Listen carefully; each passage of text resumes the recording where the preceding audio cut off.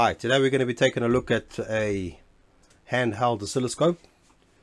This is from FNIRSI, uh, DPO X180H. In the box we have the user manual. It comes with two probes, 200 megahertz, charging cable and a 5 volt 2 amp adapter. Okay, power on.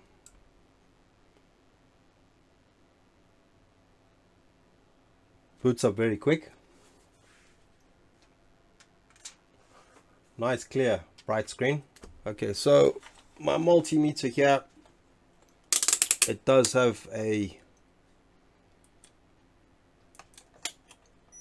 output square wave output of uh, I think it's one kilohertz 10 kilohertz I'm not sure. Never actually measured it. Okay so it has picked up some sort of a wave auto.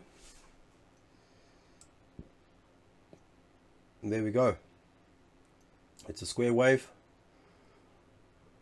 1 kilohertz. So you just remove the spring tip from the top of the probe, 5 volt, 3 volt coils. So if we put the probe on one of the gates on the on the MOSFET, and there we go, we get a pretty clean signal of that VRM, 5 volt.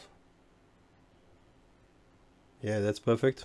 An oscillating crystal. Let's have a look. So this uh, oscilloscope is rated up to 180 megahertz and according to other reviews I've watched on YouTube it does uh, get up to that. We have a nice signal there 25 megahertz.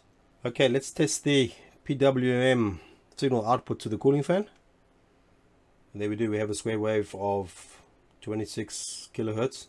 And there we go the signal is changing as the speed of the fan ramps up Okay, so we have another 25 megahertz crystal.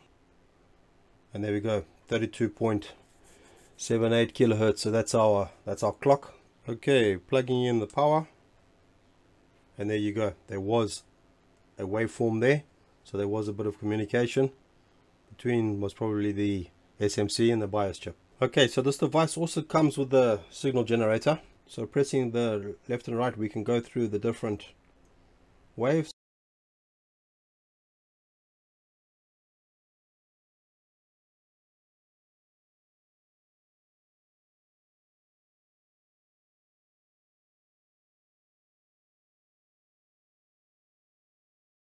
So there seems to be quite a choice of different signals. So adding this little two channel scope to my arsenal, it's going to help me out diagnostics, being able to measure a waveform.